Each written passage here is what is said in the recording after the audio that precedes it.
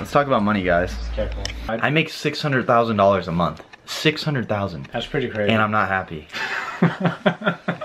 and you got to realize that you, the money isn't what's gonna make you happy. Your health is the most important thing. So if my leg stopped working, I would give up my 600 grand a month to just get my leg fixed. Health is the most important thing. And pussy. Not to be vulgar and immature, but pussy and health is, is the most important thing.